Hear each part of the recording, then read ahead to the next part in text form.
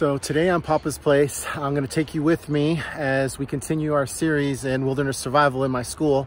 And we're gonna try to teach our young people how to be um, creative when it comes to making a fire. So today I'm gonna teach my kids how to make a bow drill fire, but using um, gunpowder. Should be kind of cool.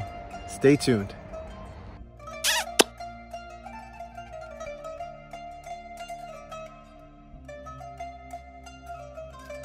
All right, so here we are at Wilderness Training. Uh, we've been working on the bow drill, and so it's been raining here, and stuff is a little bit wet. So we need to enhance our um, our fire making technique.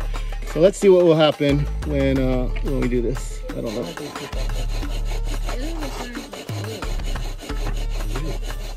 Oh, There it goes, there it goes, there it goes. Yes.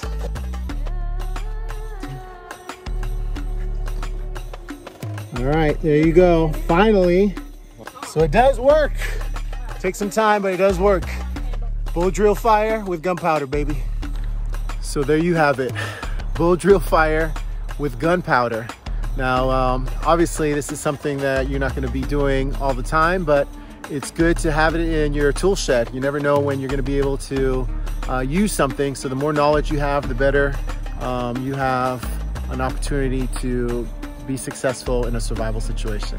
Well, thank you so much for joining us and uh, stay tuned for next time um, on Papa's Place where we'll have another adventure for you.